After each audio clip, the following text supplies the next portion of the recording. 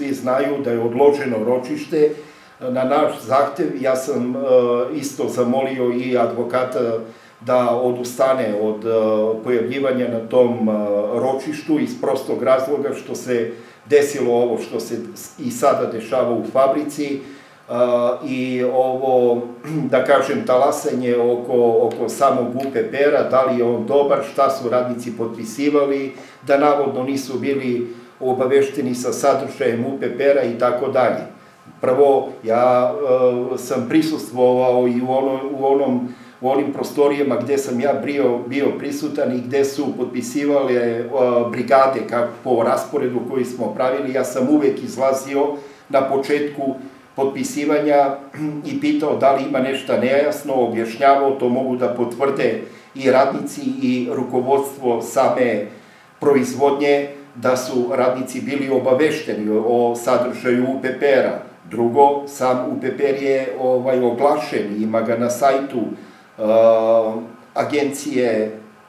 odnosno Privrednog suda u Nišu, tako da može svako da izvrši uvid i da se detaljno uh, informiše o sadržaju tog UPPR-a. Želim takođe da napomenem da taj UPPR, kao što se čuju glasine, da se glasa ili ne glasa, znači nema šta da se glasa ili ne glasa u UPPR-u, znači sama, sam UPPR može On je napravljen kako je napravljen, to je pravila agencija iz, ovlašćena agencija iz Beograda i u tom UPPR-u je samo deo Deo UPPR-a predstavljaju ove obaveze, utvrđene obaveze i način namirenja obaveza prema svim radnicima i bivšim radnicima koji, kojima se duguju zarade za određeni period.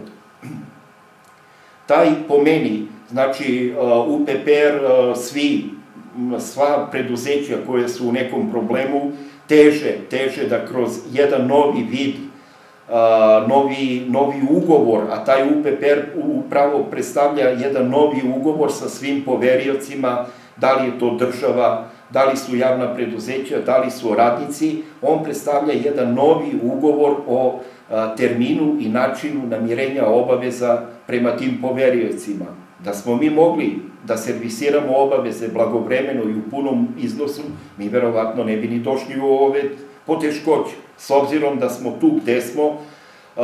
svako je mogao od poverioca po zakonu o stečaju nakon 45 dana blokade nemogućnosti izmirenja redovnog izmirenja dospelih obaveza da inicira stečaj. Svi se bore, znači to je, mi bi možda bili jedinstveni slučaj u Srbiji da imamo UPPR, a da sami sebe guramo u stečaj. Ali,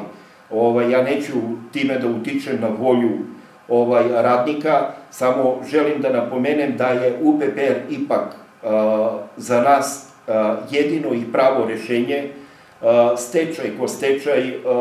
nikome nije doneo dobro, zna se kad se ode u stečaj, onda se definitivno zatvara fabrika,